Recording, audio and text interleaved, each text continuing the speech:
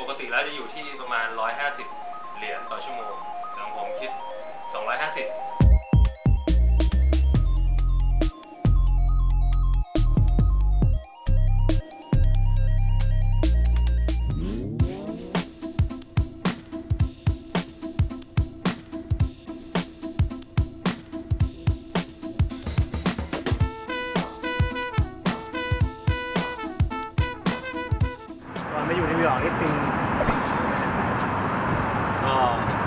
เป็นนักเรียนช่างศิลป์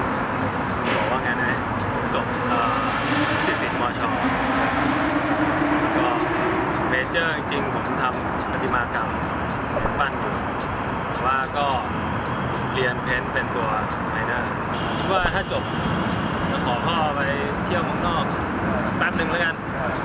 เพราะว่ามันดูเท่ดีอะเพราะว่าผมเห็นเพื่อนเพื่อนที่เรียนด้วยกันเขาก็ไปอยู่ฝรั่งเศสไปอยู่ ออสเตรเลียอยู่อังกฤษอยากไปเท่ๆบ้างก็เลยขอพ่อมาที่นี่เท่ที่นิวยอร์กมาเท่ที่นี่แล้วกัน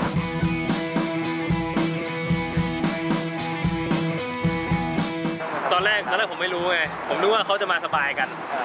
ในความคิดของคนไทยที่อยู่ที่นู่นใช่ไหมไม่ไม่รู้ว่าถ้ามาเนี่ยต้องทำยังไง มันมาเนี่ยมันต้องสบายแน่เลย มันต้องแบบว่ามาทำงานเก็บเงินได้เงินเยอะรวยดูดีจ ริงๆแล้วไม่ใช่เลย คนละเรื่องเลย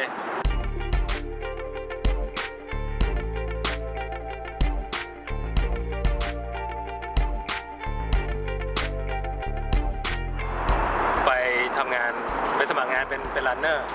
เป็นเด็กเป็นเด็กเด็กเซิร์ฟเป็นเด็กเสิร์ฟเออร้านมันก็เริ่มสโลว์ใช่ป่ะเขาก็เริ่มตัดตารางคน มันก็เหลือผมก็เหลือทำงานอยู่ร้านอาหารเป็นเด็กเสิร์ฟเนี่ยได้วันละร้อยห้าสิบ แต่ทำอยู่วันเดียว วันเดียวทั้งอาทิตย์อะได้ร้อยห้าสิบต้องจ่ายค่าบ้านสี่ร้อยเดือนหนึ่งได้ประมาณหกร้อยเหรียญเหลือตั้งอยู่สองร้อยเพื่อเอาไว้กินข้าวทั้งเดือนไอ้เชี่ยชีวิตทำไมมันบัดซบอย่างเงี้ยวะเนี่ย จะโทรไปขอ จะโทรไปขอเงินพ่อก็กลัวเสียฟอร์มอีกก็เลยเอะต้องต้องทำอะไรสักอย่างละเราก็เลยบอกว่าเฮ้ยเราชอบเรื่องสักอะไรเงี้ย เราจะเป็นไปได้ไหมที่เราจะสักเอง ก็ เลยลอง search search ดูใน YouTube ดูอะไรว่า beginner เขาทำยังไงเวลาจะเริ่มต้นจะเริ่มต้นสักทำยังไงอะไรเงี้ยแสดงว่าก่อนจะมาทำนะอาชีพ tattoo artist เนี่ยช่างสักไม่เคยสักให้ใครมาก่อนอ๋อไม่เคยครับไม่เคยเลยไม่เคยเลยมาเริ่มเลยออเดอร์เลยสั่งสั่งของบอกว่า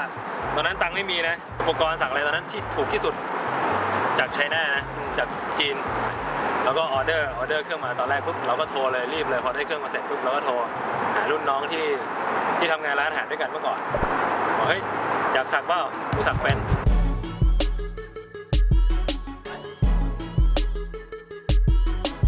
การสักเนี่ยมันไม่ได้เหมือนวาดรูปนะแบบว่าวาดแล้วก็ลบได้ที่เราไม่มีประสบการณ์เลยใช่วาดแล้วก็ลบได้เราที่สักให้คนแล้วมันจะติดกับเขาไปตลอดชีวิต เราคิดว่า เราคิดว่ามัน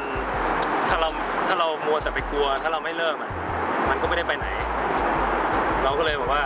เออไอ้เชี่ยขอโทษนะ คิดในใจ ขอโทษนะ กูต้องทำอะไรสักอย่างแล้ว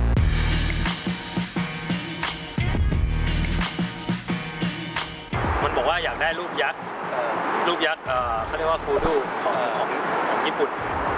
สักวงกลมวงกลมรายแรกอะไอ้ครั้งแรกเนี่ยอ่าครึ่งชั่วโมงนะ แค่วงกลมแค่วงกลมเล็ก ๆ เนี่ยเออมันยากมากมันไม่ใช่ง่ายๆเหมือนที่เราคิดนะมัวๆตัวๆไปแต่ว่า ครั้งแรกเราเราคิดในใจนะวูบหนึ่งในใจว่า มันไม่ใช่ทางเราละแม่งยากมากแล้ว เราจะยอมแพ้แล้วแต่ว่าถ้าเรายอมแพ้เนี่ย เราต้องกลับไปอยู่ร้านอาหารเหมือนเดิมเมียเราก็ต้องกินข้าวไข่เจียวเหมือนเดิม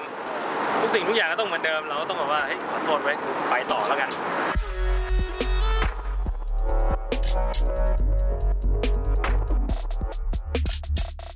คนที่โดนหลอกมาสักเนี่ยเขารู้สึกเป็นยังไงครับ ระหว่างตอนโดนสักแม่งเจ็บมากแม่งแบบว่ากัดฟันกัดผ้าว่าเฮ้ยทำไมมันเจ็บงี้บอกเฮ้ยฮาอดทนหน่อยลูกผู้ชาย จริงๆว่ามันอาจจะเจ็บกว่าเอ็กซ์ตร้ากับคนที่สักเป็นหลายเท่าอะคือแบบกดมิดเลยทำไมสีไม่ติดวะกดมิดเลย ก็ถือว่าคนนั้นเป็นครูคนแรก ใช่วันเดนับถือเป็นครูเลยว่านะเมื่อเมื่อก่อนนี่ก็บอกว่าโกรธอะโกรธเลยโกรธอะแบบว่า ฮ้ยทำไมทำไมเป็นงี้วะเนี่ย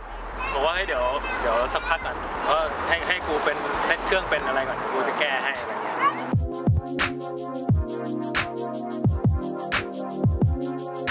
เข้าไปทำงานในร้านสักได้เนี่ยเราก็ไปตอนแรกเลยวันแรกเลยแล้วก็ คิดว่ามันก็คงเหมือนประเทศไทยที่เราเคยเห็นเห็นมาใช่ไหมของอะไรแบบว่าดูไม่ไม่เป็นโปรเลย ถ้าเกิดในสายตาเพื่อนๆกันอะดูว่าไอ้นี่มันทำงานได้เป็นแน่นอนเขาก็แบบว่า ดูถูกแล้วทำงานแบบว่าเล็กๆอะทำจำได้รายแรกสุดใน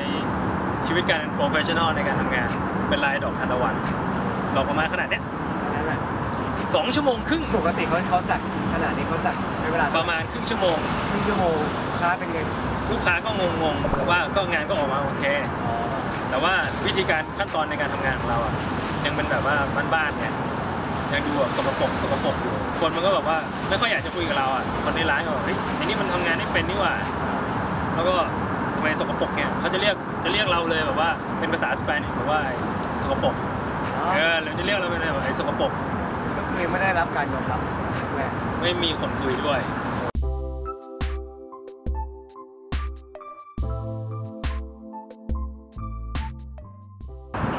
เราก็อดทนอยู่ร้านนั้นไปแบบว่า ทำไปอะคนก็ไม่คนก็ไม่คุยด้วย เพื่อนที่อยู่ที่ร้านอะก็ไม่คุยด้วยแบบว่ามีมีคนที่ที่บอกว่าเป็นคนเม็กซิกันอะยังดีที่แบบว่ามามาคอยสอนว่าเฮ้ยคือต้องใช้เข็มอย่างนี้นะอะไรอย่างนี้ คนอื่นน่ะไม่คุยไม่คุยกับเรา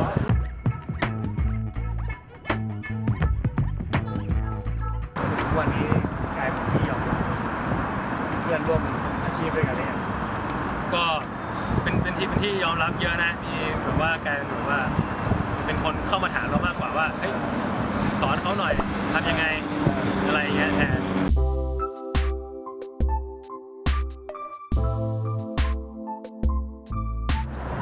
จากเด็กที่มานิวยอร์กที่ไม่มีจุดประสงค์เลยเลยมาอย่างว่างเปล่าใช่เด็กที่ทำงานอยู่ในร้านอาหารเนี่ยจนมาถึงวันนี้ได้มาทำในสิ่งที่ถนัดแล้วก็สิ่งที่ชอบ แล้วก็เป็นที่ยอมรับของ คนในระดับระดับโลกระดับนานาชาติด้วยนะอ่อตอนนี้รู้สึกยังไงบ้างก็รู้สึกดีนะแต่ก็ยังยังไม่พอใจเต็มที่ เพราะว่าผมคิดว่าถ้าเราพอใจในสิ่งที่เราเป็นแล้วแล้วมันก็เราก็จะไม่พัฒนาตัวเองต่อไปเรื่อยๆใช่ไหมผมก็คิดว่าก็อยากจะให้พัฒนาฝีมือตัวเองไปเรื่อยๆครับ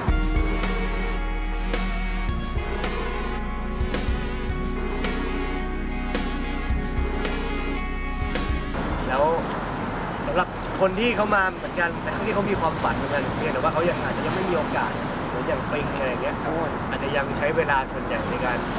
มึนอยู่หรือว่าหมกมุ่นอยู่กับในในครัวในร้านอาหารหรือทำอะไรอยู่ก็ตามอย่างเงี้ยปิงถ้าได้เจอเขาจะอยากจะแนะนำอะไรเขาว่าคือความคิดก่อนที่ผมจะมานี่คือแบบว่า คนที่มาทำงาน ก็ทำร้านอาหารไปเก็บตังค์ส่งกลับบ้าน ได้ได้เงินเอ่อสักก้อนหนึ่งแล้วก็กลับใช่ไหมแต่มันอาจจะ สูญเสียชีวิตที่เรามีโอกาสได้เห็นอะไรเเปิดหูเปิดตา มีอะไรตั้งหลายอย่างที่นอกจาก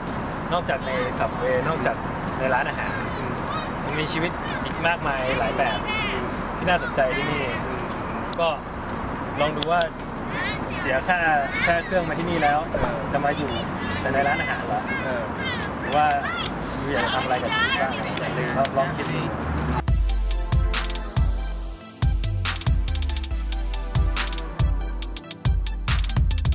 ลองมานั่ง list ดูลองมานั่งคุยกับตัวเองว่าเฮ้ยเราอยากจะเป็นอันเนี้ยแต่ว่าไม่ใช่ว่าคุยกับตัวเองอย่างเดียวนะ แล้วพอเรารู้ว่าเราเราชอบอะไร เราเริ่มทำเลย เริ่มทำเดี๋ยวนี้เลย ไปดู research เลยบอกว่าเฮ้ยมันต้องทำยังไงต้องใช้อะไร ต้องลงทุนอะไรบ้าง ก็ต้องยอมใช่ไหมเพราะว่าถ้าเรามัวแต่มานั่งคิดแล้วก็ไม่ลงมือทำมันก็ไม่มีวันประสบความสำเร็จในชีวิตได้